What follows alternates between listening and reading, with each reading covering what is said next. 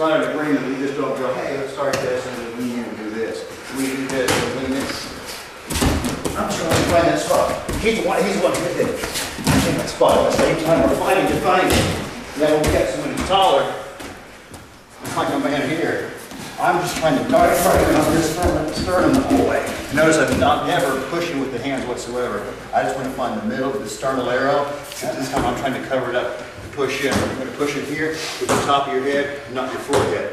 When you want to hit the head, you stay out here where hit body shots. Well, time I want to hit the head, I pull out and hit the head and run back in. The other thing we're looking at when we start combining this with other drills is we're hitting me all the time.